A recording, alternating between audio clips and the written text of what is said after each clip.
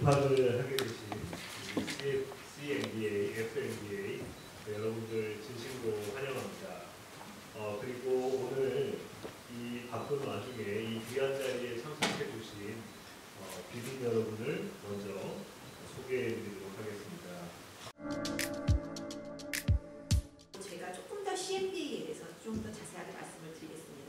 수업은 2년 4학기 중이었고 강의 시간은 주, 이제 주 3일로서 이제 7시부터 10시 여름 겨울은 월, 화, 목, 금 세션과 수, 토 세션이 있습니다.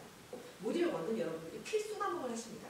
기업 경영학, 아, 경제학, 그 다음에 조직행동론, 재무회계를 들으시고 그 다음에 모듈 2는 두 번째로 기업 경영 통계학 그리고 조직 행동론을 이어서 들으시고 재무회계 역시 이어서 듣게 되십니다.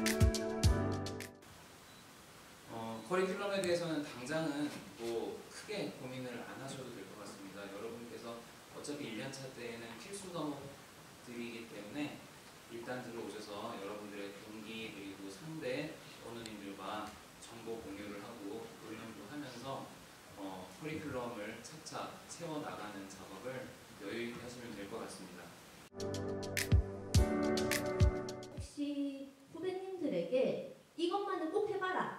추천하실 만한 활동이 있을까요? 어 사실 딱 뭐 말씀을 드리면 한 가지인 것 같아요. 거기 저희가 연세대학교 MBA가 다양한 국이 많이 존재하고 있어요. 저희가 이제 저희 다음 세션에 원회 소개가 있을 텐데 뭐 산업연대국, 대내 대외국, 뭐 연세통합국, 스포츠문화국, 골프국, 사무국, 사무운영국 이렇게 있는데 어, 저는 2020년도에 사실 모든 국에 가입해서 활동을 좀 진행을 했었어요.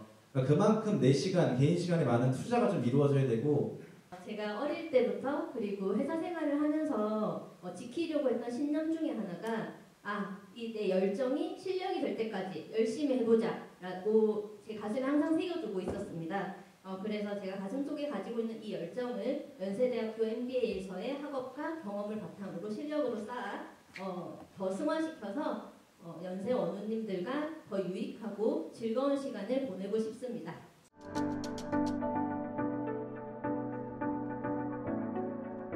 주로 해서 어, 금요일과 토요일 이렇게 합니다.